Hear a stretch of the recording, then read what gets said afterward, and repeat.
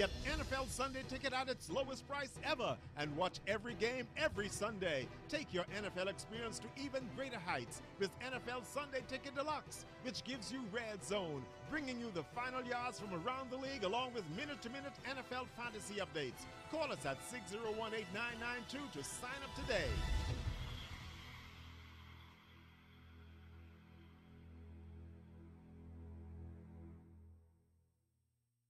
Good evening, Bahamas. You're tuned into NB12, the weekend edition.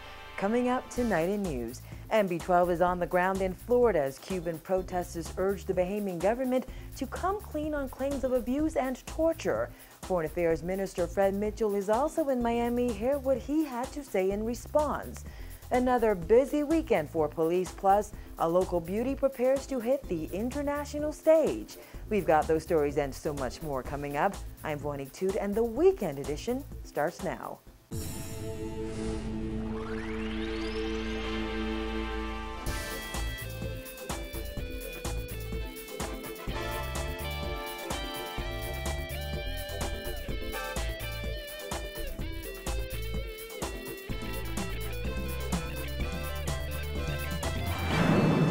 Tonight, we've been hearing about the allegations of abuse of Cuban detainees at the Carmichael Road Detention Center for months now. And this week, we finally saw that controversial report that details what allegedly happened. But we haven't actually heard from any of the people who claim they were abused. That is, until now. Nikia DeVoe was in Miami for the arrival of some of the released Cubans and filed this report.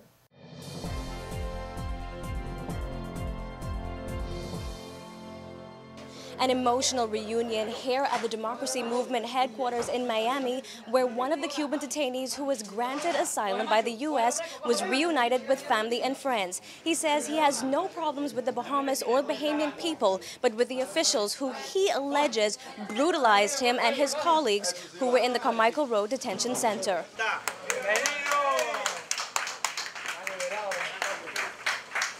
golpe, pata, gas pimiento. uh, pepper, pepper Ya cuando estaban desmayados, Then when they're uh, almost uh, uh, Bal. fainted, had it almost fainted, bal de water, buckets, uh, spray, uh, throwing water to them.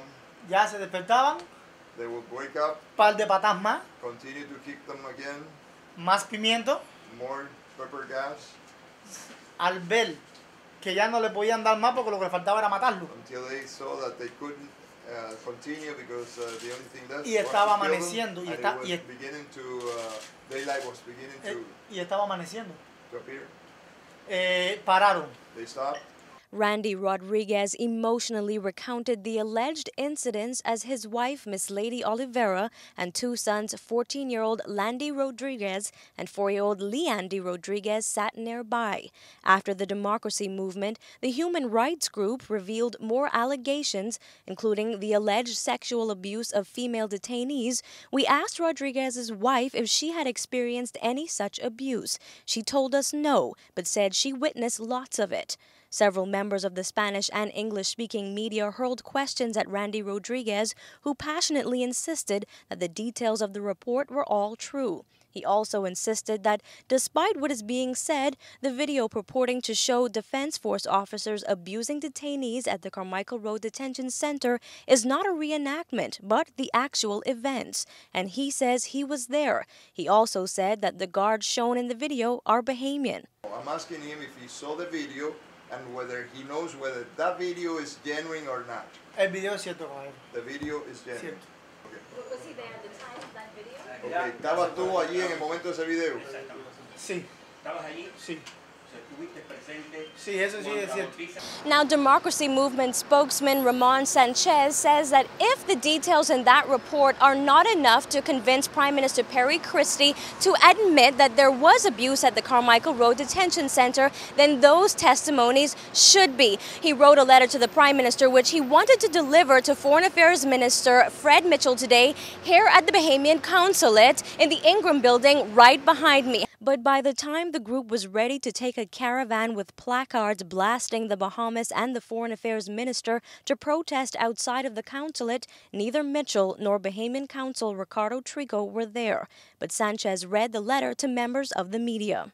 Honorable Prime Minister, because we are people of faith in search of the truth, we come to you after the many sad reports that are now coming out publicly vindicating our claims of gross human rights violations in the hope that you will set aside your defensive attitude and deploy a true will to address those gross human rights violations being committed against undocumented migrants detained under your jurisdiction. We did, however, catch up with Mitchell at his hotel in downtown Miami. He was here meeting with staff at the consulate this morning. Mitchell says that despite the leaked report and the testimonies of members of the Rodriguez family, he has gotten no negative feedback outside of Miami. I don't think anybody even pays attention to it. I keep saying this has no traction beyond Broward County, none. So and our image hasn't been at, at all tarnished. I not at all, not at all, not at all and and I mean that's my that's my view, that's my estimation.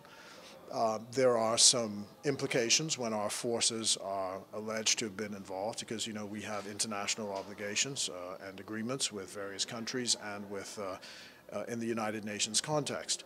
We also asked the Foreign Affairs Minister what the government's next move is now that the report has been released. He said he didn't want to comment specifically on the report, but did say that what was released in the media may not be what it seems. Reporting from Miami, Florida for NB12, I'm Nakia DeVoe. The Free National Movement has also been very vocal about abuse allegations in recent weeks.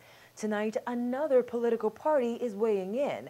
The Democratic National Alliance has labeled the leaked report an embarrassment to the country. The report, dated July 19, 2013, revealed that Cuban detainees were allegedly severely beaten at the Carmichael Road Detention Center for almost two hours after they attempted to escape in May. DNA leader Branville McCartney says if it did in fact happen, that is unfortunate. However, he's not completely convinced the report is legitimate, given a video initially circulated turned out to be fake. There was a report put forward. Again, we, we need to determine the legitimacy of that report. Um, there were photos. We need to determine the legit- legitimacy of those photos. Um, quite frankly, they have not been determined. As an attorney, if I'm speaking almost from an attorney's point of view, you don't make calls or come to certain conclusions uh, until you have everything before you. McCartney suggested that the public should wait for investigations to be completed before drawing conclusions, noting that the Bahamas government does not condone abuse. However, he says if the final report reveals that Cuban detainees were abused, those responsible should pay the price. And if there are a few rogue officers that are involved, I would like to see them brought to justice uh, because it is certainly an embarrassment to the, to the country as a whole. It's an embarrassment to us individually, uh, and that is not the um, position we as Bahamians and as I said, the, the government ought to condone.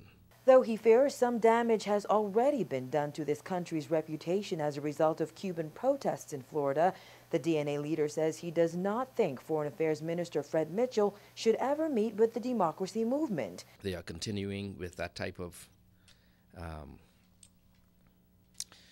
um, stance against the Bahamas, um, which is not good for us. We, we are a tourist country, we're a tourist nation, and that hinders and that deters persons from coming to, the, to, to, our, to, our, to our islands.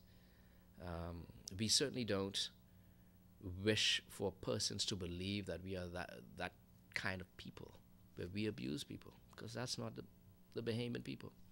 A young woman is dead tonight following a dramatic high-speed chase and shootout that ended in front of the South Beach police station. It's the second murder in less than 24 hours. Head of the Central Detective Unit, Superintendent Paul Rolle says a man driving a blue Honda Accord and two female passengers had just left a wedding reception on East Street around 2 p.m. today and were driving along Sequoia Avenue when the occupants of a red Ford Explorer pulled up alongside them and opened fire, spraying the Honda Accord with bullets. Continued driving to the police station where the this Ford Explorer continued following him and discharging shots at the vehicle until they got here. And the vehicle um, eventually pulled back before when he, I suppose he realized they were coming to the station. The woman sitting in the back seat of the car was shot multiple times. The driver of the Honda and the woman sitting in the front seat were not harmed. The victim, believed to be between ages 20 and 30, died in the passenger seat of the car just a few feet away from the entrance of the police station. Rolle says police have no suspects in this incident, which brought this year's murder count to 75. Uh, we appeal to members of the public who may have information with this uh, latest homicide to uh, give us a call so we can uh, act on it and try to bring this to some resolution. Just last night, gunmen shot and killed a Nassau Village man outside his home. Police say the victim, believed to be in his late 20s, arrived at his William Street home at around 9.15 last night and was parking his vehicle when two gunmen ambushed him, shooting him multiple times. The shooters then reportedly fled the area on foot. The unidentified victim was taken to hospital in a private vehicle. However, he succumbed to his injuries a short time later. At this point, authorities say they have no suspects and no motive, adding it's unclear if last night's killing was gang-related. Meantime, Commissioner of Police Ellison Greenslade says concerns surrounding the electronic monitoring system must be resolved soon. He told NB12 he was not informed the man found dead in South Beach Canals had been stationary for one week, even though he was wearing an ankle bracelet, adding the Ministry of National Security is not satisfied with how that matter was handled. However, Greenslade says the technology is not the problem. Electronic monitoring is, is an effective technical solution. I was a part of the project, and as a techie person myself, I'm fully conversant with how it works. So the technology is really not the issue. Whether it's effective or whether it works is not the issue. The issue is more implementation, monitoring, and issues around how limits are set. That's the big issue. He says there have been issues in the past when people wearing ankle bracelets went undetected. Yeah, there are times when people have been able, uh, for short periods of time, to defeat, to some extent, I'm not sure to say defeat, but have been able um, to do things uh, without being monitored properly. Um, of course, we would note a flag and we would know that something was not right and, and could respond to it effectively. And we have, in fact, in cases like that, revoked the, the bail, meaning we've arrested people and they've gone back to prison. Coming up after the break, a top religious leader condemns gay marriage. Plus, is government close to reaching an agreement with Baha Mar? The details of those stories and more when NB12 returns.